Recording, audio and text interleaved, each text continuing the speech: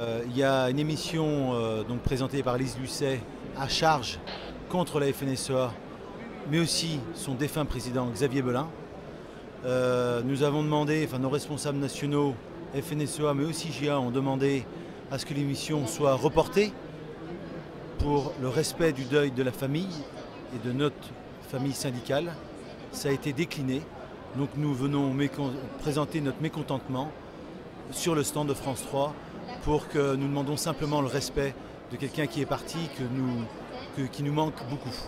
Je pense qu'on est entre 150 et 200 agriculteurs, euh, parce que tout le monde n'a pas de, ballon de, et on est aussi, c'est une action en toute solidarité avec l'ensemble des OPA agricoles.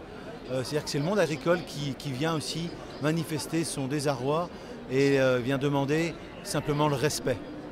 C'est un mouvement national de la FNSEA à la demande de l'ensemble des départements et des régions, parce que la FNSEA c'est un grand réseau, une grande famille de tous les agriculteurs et les agricultrices de toutes les productions.